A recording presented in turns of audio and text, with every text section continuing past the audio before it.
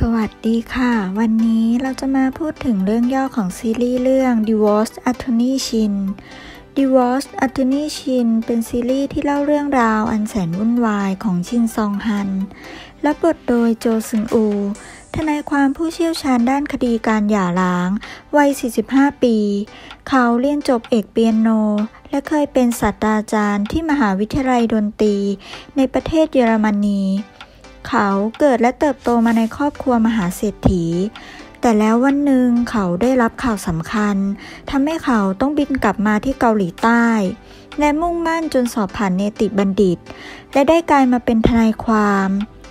อีซอจิน รับบทโดยฮันฮเยจิน ดีเจพยากรณ์อากาศประจำสถานีวิทยุ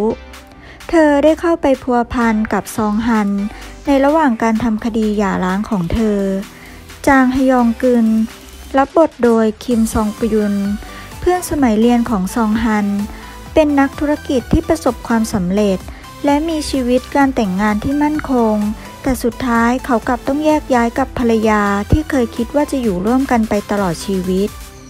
จนได้มาทำงานเป็นผู้ช่วยของซองฮัน ที่สำนักงานทนายความ และโจจองชิก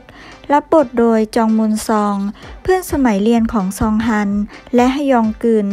เขาเคยทำธุรกิจมาหลากหลาย แต่หลังจากที่อาชีพอันรุ่งโรจน์ของเขาพังทลายลง เขาก็หันมาทำงานด้านอสังหาริมทรัพย์ และในบรรดาสามคน เขากำลังใช้ชีวิตโสดอย่างมีความสุขที่สุดโปรดติดตามซีรีส์เรื่อง Divorce Attorney Shin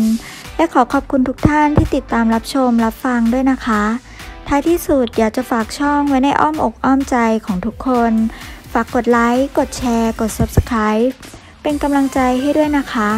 สวัสดีค่ะ